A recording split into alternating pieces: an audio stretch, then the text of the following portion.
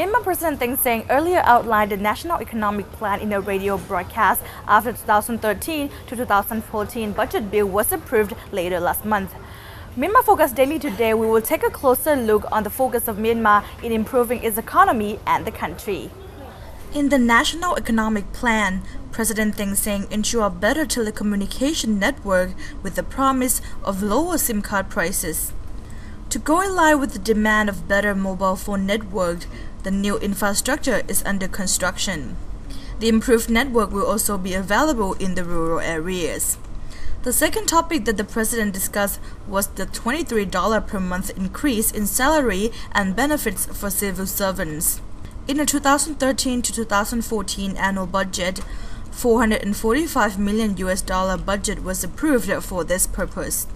Higher increase of $35 last year in stipend will remain as before, and monthly salary will increase by additional $23 starting this month. According to Xinhua News Agency, the budget includes that for 1.2 million permanent government employees, 740,000 daily wages workers employed at government departments, and 760,000 pensioners. Moreover, the president welcomed foreign investment, but policies that will protect national interests and social welfare have also been developed. He urged to promote peace in order to advance economic development.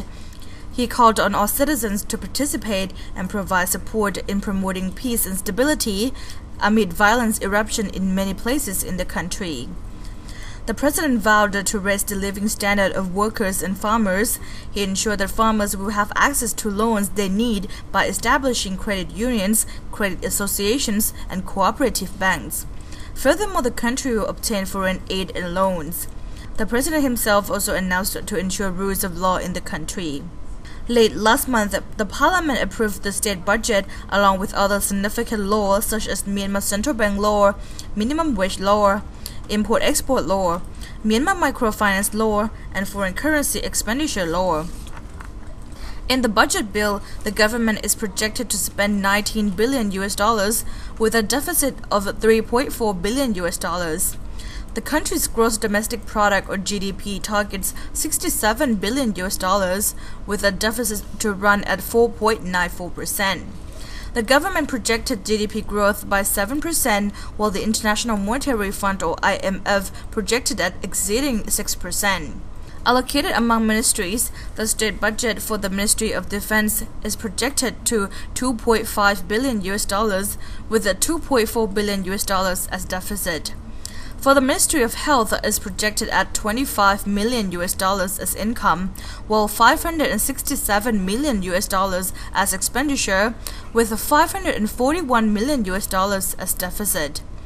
The budget for the Ministry of Education is projected at 15 million US dollars as income, while 1.03 billion US dollars as expenditure, while 1.01 billion US dollars as deficit. Even though the spending on education and health is increased, the large amount of the budget still goes to the military. Autovita Misang from Myanmar Focus Daily.